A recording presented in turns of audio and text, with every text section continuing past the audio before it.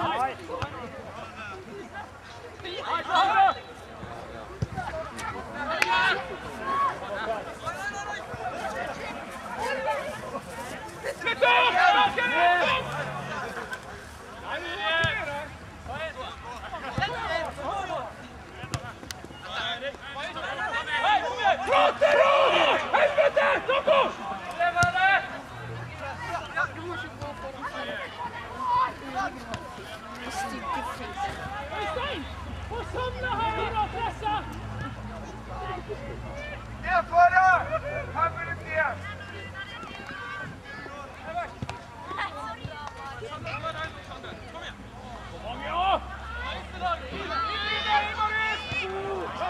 Ja,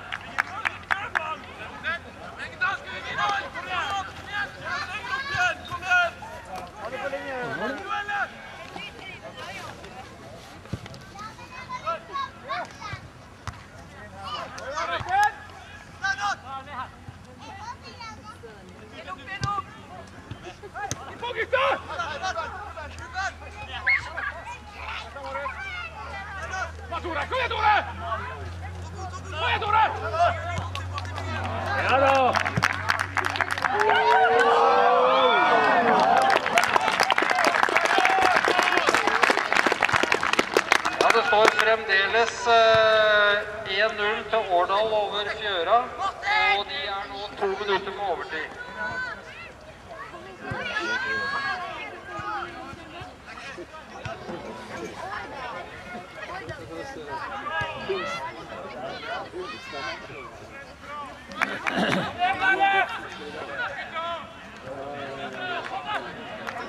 Kom igjen, Pøller!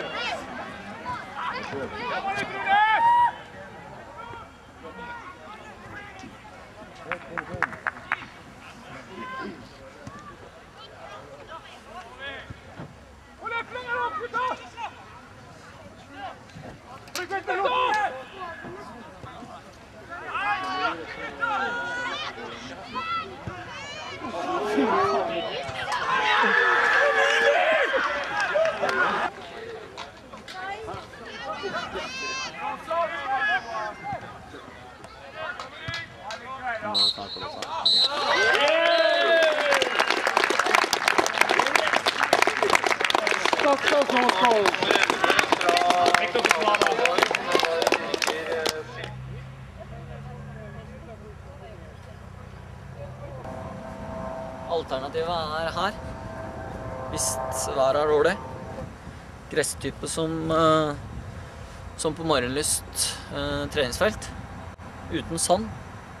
Men han er stappa. Gjennomstappa av gummi. Helt opp. Så det er nesten som eh, Ja, jeg veit ikke hva jeg skal si. Altså. Han er kompakt. Det er kompakt matte.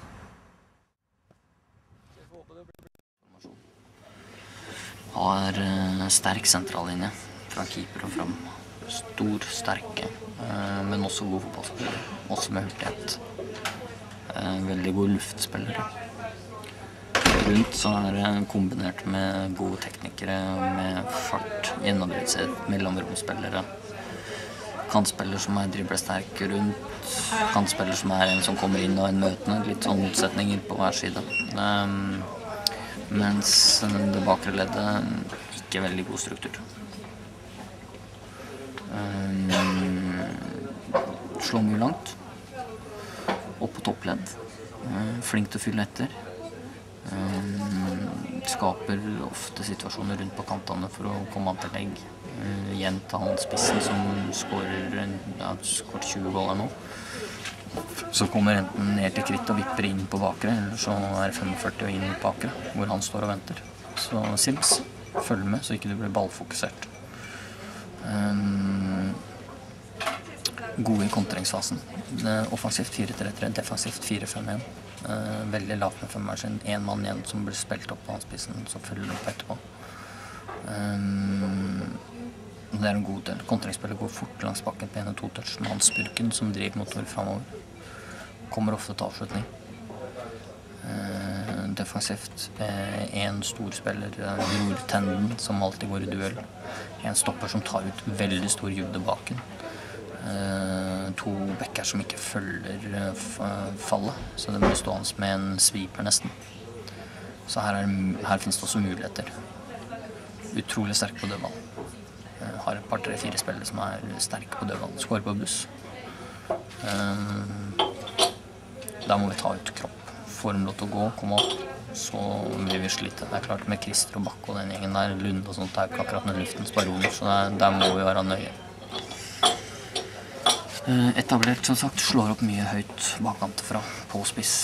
Prøver å være gjennombruddshissige. De har den ene venstre, høyre indreløperen. Kantene stuper inn sentralt, så de ligger med tre mann rett bak han duellspilleren som går opp i første duell. Ikke like flink til å fylle etter. Har en sentral midtbane som ligger veldig lavt, men er flink til å styre spillet. Duellsterk.